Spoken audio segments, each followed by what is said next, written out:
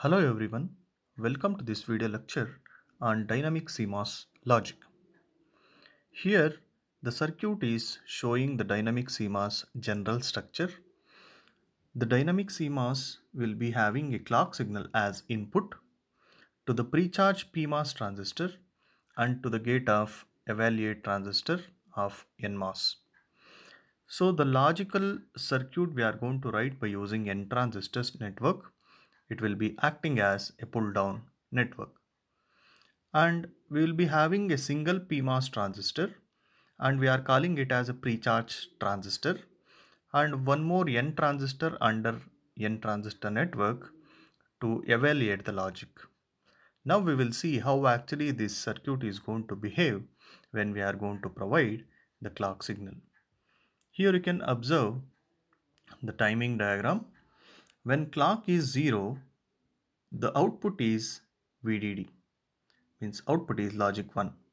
When clock is equal to 1, it is evaluate state and output will be evaluated as per the logic if, if there is any path from the output reaches ground, if any of the input is high so that output will be 0. If any path reaches to the ground in the pull down network, it will be the output will be reaches to 0. There will be a chance of getting 0 output only in the evaluate state. In the pre-charge state, output will be 1.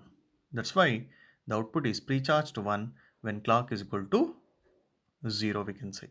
How that output is going to be 1 in pre-charge state. Because of clock is equal to 0, this PMOS transistor is turning on and this evaluate transistor is turning off. Even if we are going to provide the different kind of inputs over here, there is no direct path from output to ground because of this evaluate transistor is in off state. There will be an open circuit between the ground terminal and the output. And this pre-charge PMOS transistor is on. It will make the contact to VDD terminal and the output terminal so that the output capacitor is going to charge. This is how the dynamic CMOS logic is going to work. So in place of N transistor network, that is the pull down network, if you put the transistor connections as per our logic, this dynamic CMOS logic is going to work as per the logic what we are going to write. Thank you.